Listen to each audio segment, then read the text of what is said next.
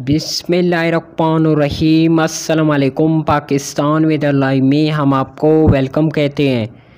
नाजरीन, इस वक्त शदीद गरज चमक के तूफ़ान पूरी शिद्दत के साथ अफ़गानिस्तान को मुतासर कर रही हैं। ये अब तूफ़ान खैबर पख्तूनख्वा, बलूचिस्तान और पंजाब की जानब गमसान है, जिसके बाद आज शाम रात तक खैबर पख्तूनख्वा पंजाब, बलूचिस्तान, बाली मगरबी सिंध जबकि कश्मीर और गिलगित बलिस्तान में गरज चमक के साथ मूसलाधार बारिश और यालाबारी के इम्कान आते हैं।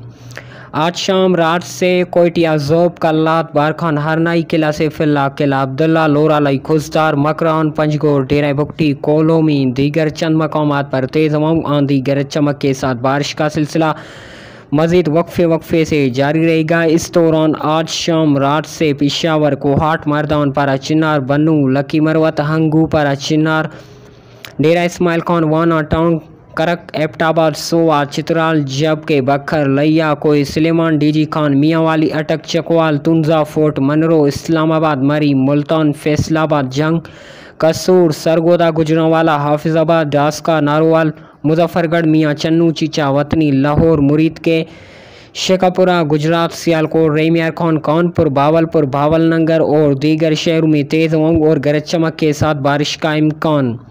ताम आज शाम रात से वालई मगरबी सिंध में सखर लारकोना, दादू जोही वाही पांदी जैकाबाद, और सेवन जमशोरों के भी चंद एक दो मकाम पर तेज़ आंधी और बारिश के इम्कान बन सकते हैं। कश्मीर और गिलगित बलिस्तान में बारिश का तो वैसे सिलसिला जारी है, लेकिन आज रात तक मज़ीद शिद्दत पकड़ेगी, जो वक्फे वक्फे से जारी रहेगा। मज़ीद अपडेट देते रहेंगे। तब तक के लिए इतना ही। मुझे दीजिए इजाज़त। अल्लाह हाफिज़।